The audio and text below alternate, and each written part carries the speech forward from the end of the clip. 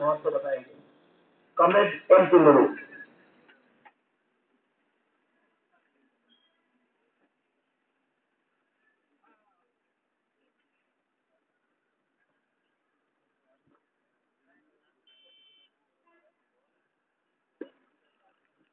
Comrade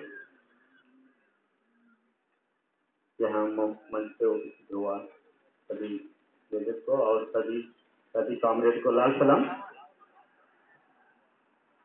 comrade. आज का ये प्रोग्राम मेन उद्देश्य है। हमारा सेंट्रल वर्किंग कमेटी डिसीज़न का अनुसार हम लोग ये प्रोग्राम रखा। इतना बारिश तेज से आज बारिश गिरा था। फिर भी थोड़ा लेट हुआ। थोड़ा मतलब ज़्यादा लेट हुआ। इसी की वजह से थोड़ा बहुत संख्या कम भी आया था। हर जगह में अच्छे से हुआ। तो ये इंक्लूड नेशनल प्रोग्राम इसका मेन उद्देश्य क्या है? आजकल हम लोग देख रहे हैं बॉक्स के बारे में, हमारा मिनिमम गारंटेड किलोमीटर का एलवेंस के बारे में। सारे हम बहुत से है एनडीए एनडीए का। अभी कोर्ट में भी चल रहा था। हम हर तरह से रिप्रेजेंटेशन कर रहे हैं। ये सभी प्रॉब्लम को ऑलरेडी व्हाट्सएप में दे दिया। ये सभी प्रॉब्लम के बारे में ऑलरेडी हम लोग बहुत बार मेमोरेंडम दिया।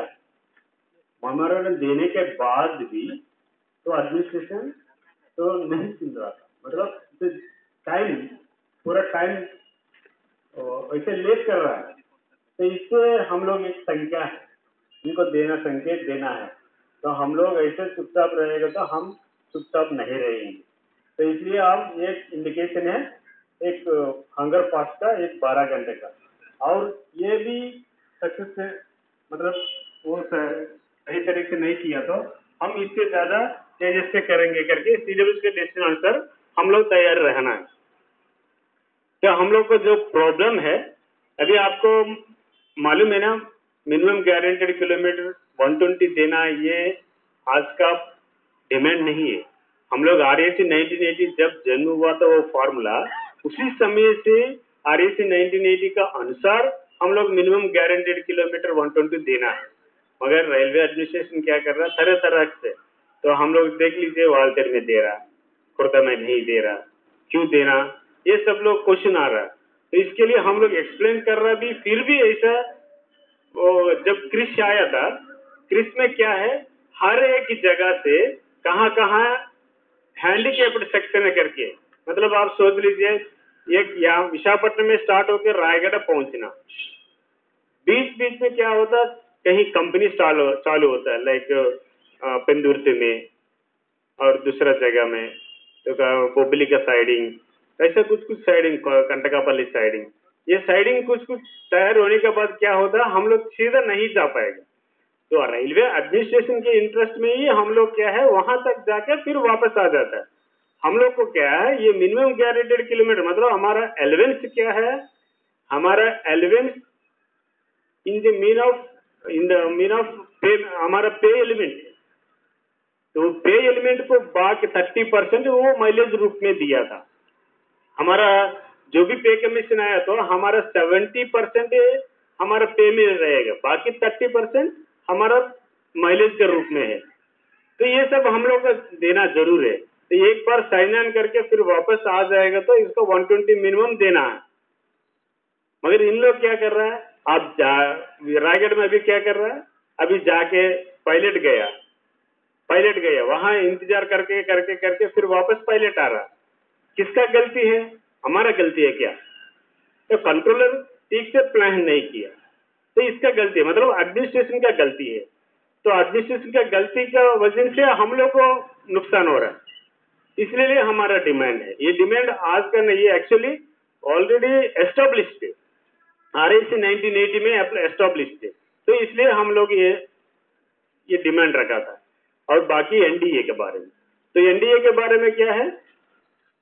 जो भी डे ड्यूटी करने वाला का नाइट ड्यूटी करने वाला का हेल्थ तो डिफर होता मतलब हेल्थ खराब होने के लिए चांसेस है। क्योंकि हमारा बायोसाइकिल है, हम सुबह उठेंगे, सुबह शाम तक ऐसे रहेंगे, फिर शाम में सोएँगे तो फिर रात में सो के सुबह उठेंगे। तो ऐसे होने से एक साइकिल है हमारा। हमारा जब तक स्टडी रहता है, वहाँ तक वैसे इसके बाद नौकरी मिलने के बाद तो कंपनी का कंपनी का अनुसार वो चेंज होते रहे। जहाँ जहाँ नाइट ड्यूटी करता है, उन लोगों को एलेवेंस कंपल्सरी दे रहा है। क्यों? इसका हेल्थ कंडीशन थोड़ा चेंज होने के लिए चांस है। इसका कॉम्पनसेट तो हॉस्पिटल के लिए, उसका एक्स्ट्रा कुछ खाने के लिए तो हेल्थ को मेंटेन करना। इसलिए वो एलिवेंस दे रहा है। आजकल देख लीजिए हमारा एनटीपीसी में जो प्राइवेट वाला कर रहा है अभी कॉन्ट्रैक्ट वाला मतलब रिटायरमेंट जब रिटायर होकर फिर काम कर डिप्यूटी कर रहा है ना, उन लोग को हर नाइट ड्यूटी के लिए पाँच सौ रुपये दे रहा है। हर नाइट ड्यूटी के लिए। आपने कभी एनटीपीसी गया तो वहाँ स्टाफ को पूछ लीजिए, हर नाइट ड्यूटी के लिए पाँच सौ रुपये। मतलब ट्वेंटी टू आवर्स छह बजे तक उन लोग को ड्यूटी है, एक पाँच सौ रुपये एलोवेंस देता है। मतलब हम लोग को क्या है forty three thousand six hundred पार हो, जिसको जिसको पार हो गया, उन लोग को नाइट ड्यूटी एलोवेंस नहीं है। हम लोग की भी डिमांड है, ठीक है? जिसको जिसको फोर्टी थ्री सिक्स हंड्रेड पार हो गया, उसको मत दो नाइट ड्यूटी भी मत दो। बाकी सबसे करवाइए मगर ऐसे नहीं हो पाए और इन लोग को दो रास्ता है। इसमें एक तो क्या है, एक फोर्टी थ्री सिक्स हंड्रेड जिसको जिसको पार होगा एडमिनिस्ट्रेशन सोच रहे वो सुपरवाइजर कैटेगरी में। दूसरा डिपार्टमेंट में सुपरवाइजर कैटेगरी अलग है। हम लोग को क्या है, जब एलपीएस ग्रेड वन बन गया तो आप लोग forty forty two hundred grade पे पहुँच जाता है। इसके बाद रिटायरमेंट रिटायरमेंट होने तक वो फोर्टी टू हंड्रेड ग्रेड पे ही है। तो हमारा गाड़ी के कैसे काम है? दिन भर, रात भर काम करना ही पड़ेगा। तो इसके लिए कंपलसरी नाइट ड्यूटी एलिमेंट्स देना ज़रूरी है। बाकी दूसरा डिपार्टमेंट का क्या है? दूसरा डिपार्टमेंट में ऐसे सिचुएशन नहीं है। जो सुपरवाइजर कैटेगरी है, उसको नाइट ड्यूटी नहीं देता है। जब फ्रेश अपॉइंटमेंट दूसरा, इसका लो लेवल वाला को नाइट ड्यूटी दे रहा है, इसको एलेवेंस भी आ रहा है। तो उन लोग की भी डिमांड ऐसे है। Forty three thousand six hundred जिसको जिसको पार हो सुपरवाइजर कैटेगरी हम लोग को नाइट ड्यूटी दो मत दो। आप एलेवेंस भी मत दो, हमको नाइट ड्यूटी भी मत दो। मगर हमारा ऐसा नहीं है सिचुएशन अगर ऐसा होगा तो हम भी नाइट ड्यूटी करने के लिए मना करेंगे। तो और ये। और बाकी है क्रू बीट तो हम लोग अभी बोल रहा है, हमारा जिसका जुरिडिक्शन है, हम रायगढ़ तक पहुँचना, हम पलासा तक पहुँचना, ये हमारा जुरिडिक्शन है। इसका अनुसार हमारा कैडर रहता है। मगर हम लोग को क्या करता है? हम लोग को खुर्दा तक ले जा रहा टिटागढ़ तक ले जा रहा है। तो ये क्रू टर्न राउंड आने में और टाइम लगेगा, एक तो है। दूसरा क्रू है, वैसे सिचुएशन में उन लोग भी आ जाएगा तो हम लोग को क्या हो जाएगा?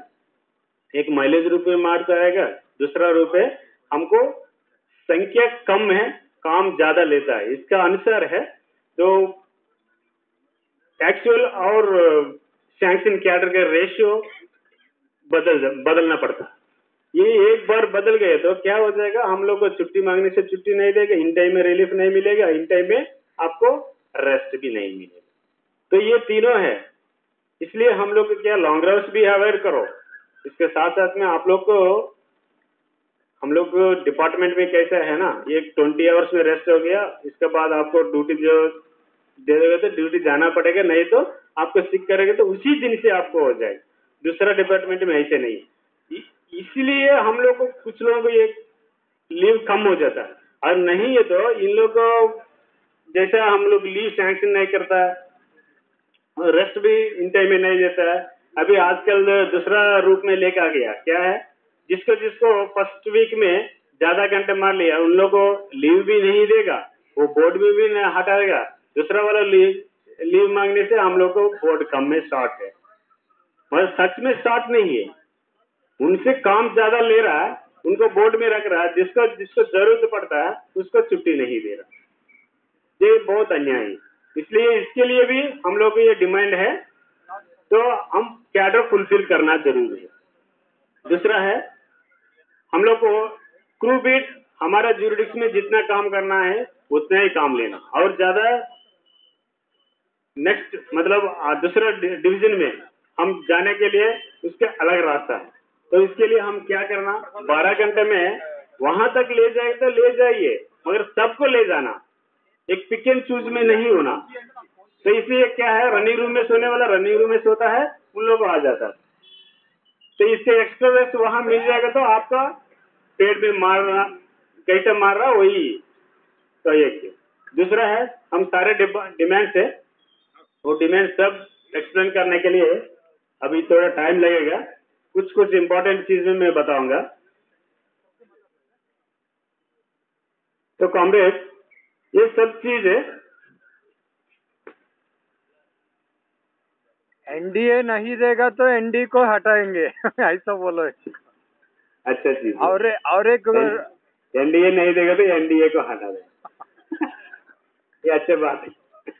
और मगर ये एनडीए को हटाने से भी हमारा लड़ाई छोड़ने से दूसरा दूसरा पार्टी आने से भी एनडीए को लागू नहीं करेंगे। मगर जब तक हम लोग जो लड़ाई छोड़ेगा तब तक ये कोई मतलब कोई लेके आने वाला नहीं है। हमारा हाथ में है। जो भी पार्टी हो हमारा पार्टी के अगेंस्ट नहीं है। तो एनडीए को हटाएँगे मगर हम लोग को जो कोई नहीं करेगा तो वैसे ही करेंगे। तो दूसरा पार्टी आने के बाद क्या करेंगे? तो उस समय में भी ऐसा है। तो हम एक यूनिटी रहना है यूनिटी के माध्यम से भी हम सक्सेस करेंगे। अभी आप अब जो तीसरा पॉइंट जो बोले हैं स्लैग स्लैग टाइम जो बर्बाद हो रहा है उसके ऊपर एक रिसर्च कमिटी बिठा दो आंध्रा यूनिवर्सिटी वालों से। कॉमरेड एक एक टॉपिक तो, पर एक एक पीएचडी स्टूडेंट को बिठा दो। कम से कम दो तीन पीएचडी स्टूडेंट को। तो काम आजकल